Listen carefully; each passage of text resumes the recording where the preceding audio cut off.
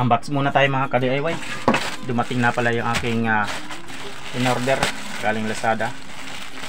Yan po. Ito po ay pambalot ng wire. Ayan nakalimutan ko anong tawag dito. Paki-comment na lang. Ayan. Ito pa. Ayan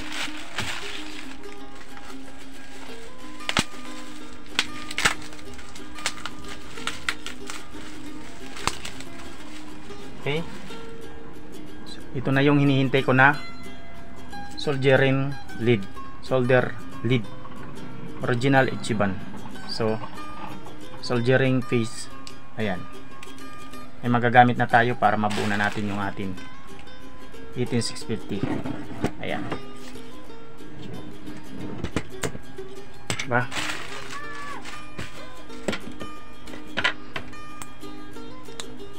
Peace. Hanggang sa muli mga ka-DIY.